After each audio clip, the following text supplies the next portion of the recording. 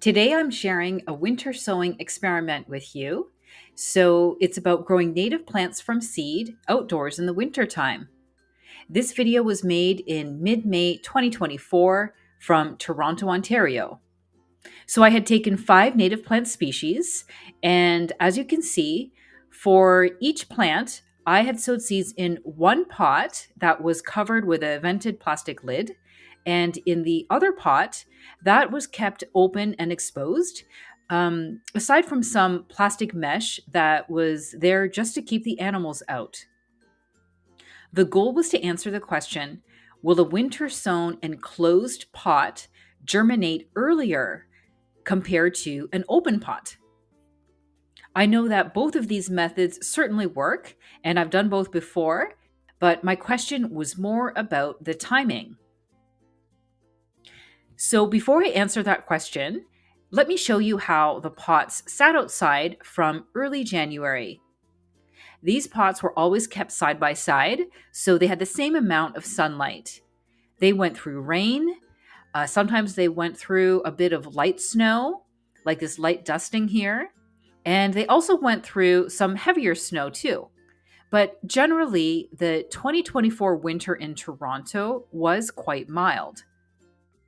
So now that you've seen how I set up the two different types of pots, let's look at the individual plants so we can compare when they sprouted. The first plant is white turtle head. This is the before picture in early January, and this is the after picture in mid May. So the pot that's enclosed in vented plastic sprouted on April 17th, and the open pot of turtlehead had one sprout five days later on April 22nd.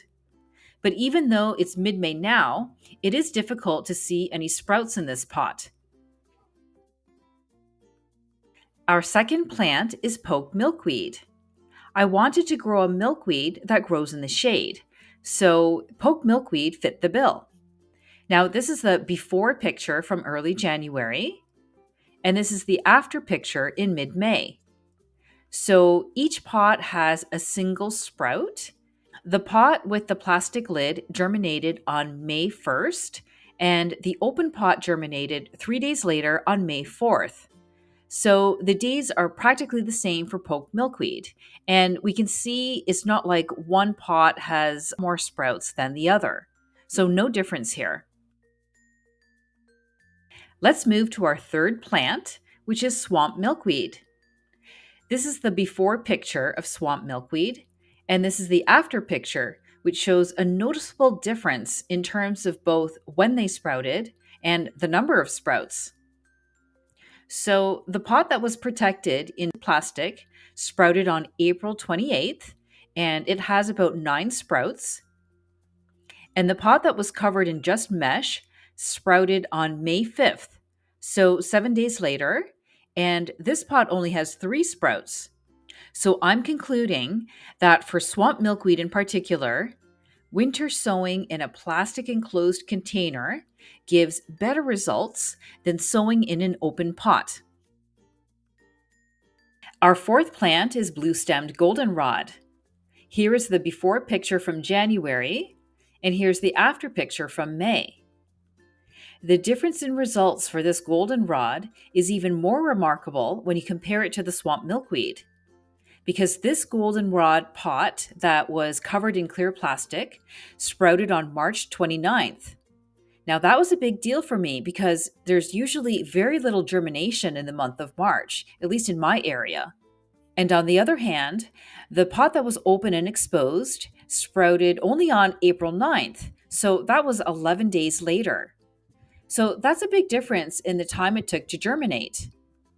And what's more, there's a higher number of sprouts in the winter sowing clear lidded container compared to the open container.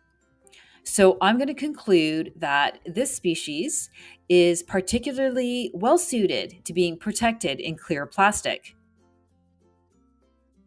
I can't really say much about our fifth and last plant, which is blue eyed grass.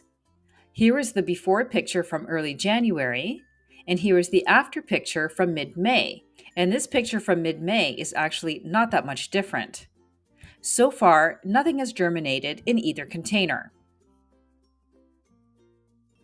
So now that we've seen the results from these five plants, how can we answer the question Will a winter sown enclosed pot germinate earlier compared to an open pot?